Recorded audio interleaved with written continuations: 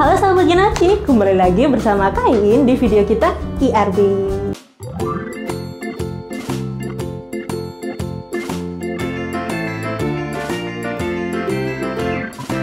Untuk video pembelajaran kita kali ini, Kain akan satu kali lagi membawakan lagu. Salah, bukan membawakan lagu ya, tetapi mereview dan belajar melalui lirik lagu. Jadi nanti sahabat Aci bisa mengecek secara langsung bagaimana pronunciation-nya dan juga arti-arti dari lagu yang Kain persembahkan pada hari ini. Jadi sesuai dari judul yang ada di bawah, hari ini Kain akan mereview dan belajar, kita semua akan belajar lagu dari Katy Perry yang berjudul Roar. Yuk, lagi kita sama-sama belajar melalui lagu ini. Let's get into it.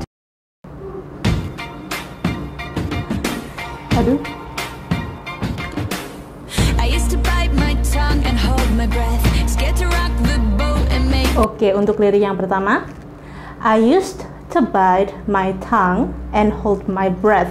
Aku sudah terbiasa used to used to itu artinya terbiasa. I used to bite my tongue bukan tongue ya tapi tongue yaitu lidah. Aku sudah terbiasa menginggit lidahku dan hold my breath dan menahan uh, nafasku. Maksudnya di sini adalah uh, aku tuh sudah terbiasa untuk uh, mendengarkan ucapan seseorang. Aku sudah terbiasa uh, hanya mendengarkan. Jadi uh, gambarannya seperti disuruh-suruh mungkin atau pokoknya intinya dia hanya bisa uh, ter sudah terbiasa hanya untuk mendengarkan. Lalu di kalimat selanjutnya, scared to rock the boat and make a mess. Scared to rock the boat, scared to rock the boat. Jadi kata-kata rock di sini, rock itu kan bisa diartikan sebagai batu. Tetapi di sini maksud dari kata rock itu adalah menggoncang. Jadi uh, kita lihat dari kata-katanya ya. Jadi rock itu bisa berarti batu, tapi di sini itu berubah menjadi kata si uh, bukan, tapi berubah menjadi kata kerja yaitu mengguncang. Scared to rock, aku takut untuk menggoncang the boat kapal kecil dan make a mess dan juga mengacaukannya.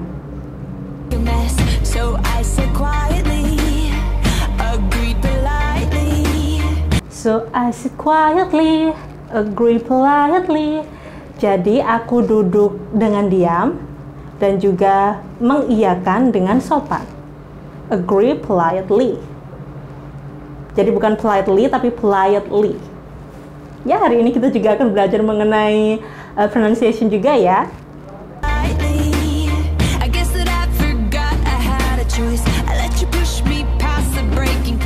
I guess that I forgot I had a choice. Aku rasa aku itu lupa kalau aku memiliki a choice adalah pilihan. Aku aku rasa aku lupa bahwa aku itu juga punya pilihan. I'll let you push me past the breaking point. I let you push me past the breaking point. Aku membiarkanmu untuk mendorongku melewati titik puncakku. Jadi uh, membiarkan orang lain untuk men, uh, mendorongku untuk melakukan sesuatu hal yang tidak biasa aku lakukan atau tidak suka aku lakukan. Maksudnya seperti itu ya. Jadi ini menyambung nyambung dari kata-kata yang di atas tadi ya.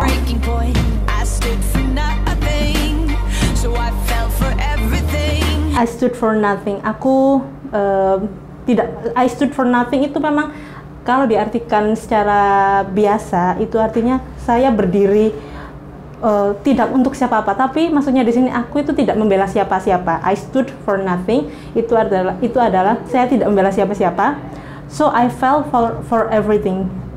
Kalau diartikan lagi secara literally artinya saya jatuh untuk I fell itu kan artinya jatuh. So I fell for everything. Saya jatuh untuk segalanya. Tapi di sini maksudnya itu so I fell for everything. Jadi aku mengikuti segala sesuatu yang diucapkan orang padaku gitu karena aku memang tidak bisa membela diriku sendiri seperti itu.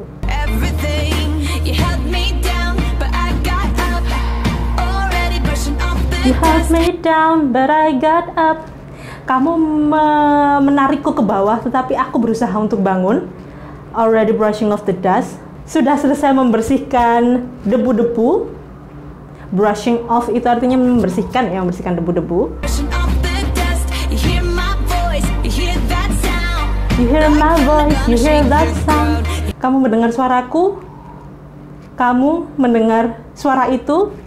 Like thunder gonna shake the ground. Seperti suaranya kilat yang akan mengguncangkan tanah atau mengguncangkan bumi malahan.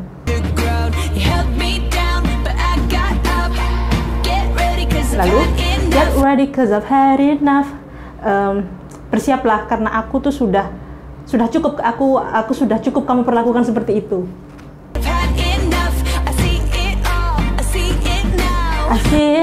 I see it. Nah, aku sudah bisa melihat semuanya sekarang. Aku sudah bisa melihat semuanya. Pokoknya seperti itu ya.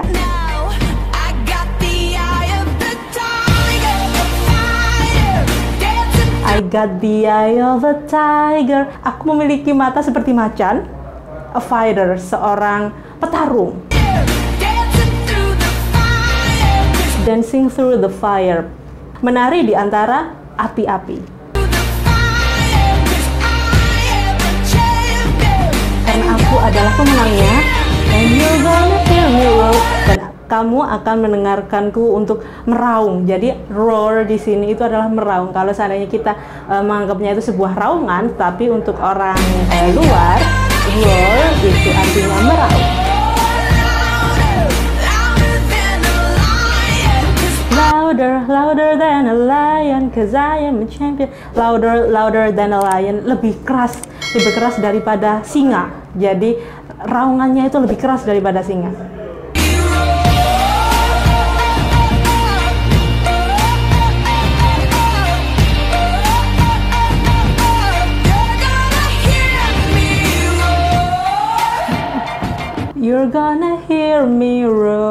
Kamu akan mendengarkanku meraung.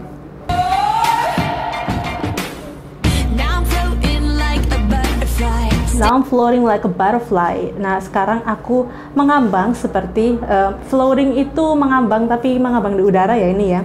Seperti kupu-kupu butterfly. Stinging like a bee, I earned my stripes. Stinging like a bee, jadi berdengung seperti lebah dan aku mendapatkan garis-garis seperti lebah. Jadi uh, lebah kan memiliki garis-garis warna uh, oranye dan juga hitam. Jadi maksudnya earned my stripes. Jadi stripes itu adalah garis-garis.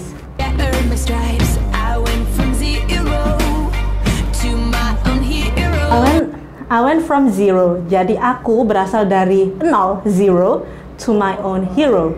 Untuk menjadi seorang pahlawan. Jadi from zero to hero.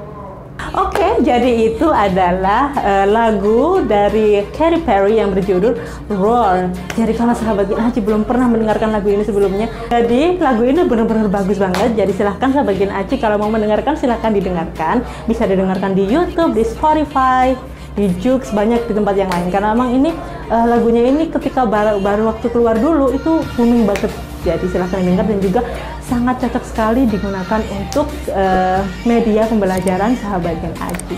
Oke, okay, I guess that's it for today. Itu adalah pembahasan kita hari ini. Uh, next time Kain akan membahas, hmm, next time Kain akan membahas lagu atau film yang lain. So see you.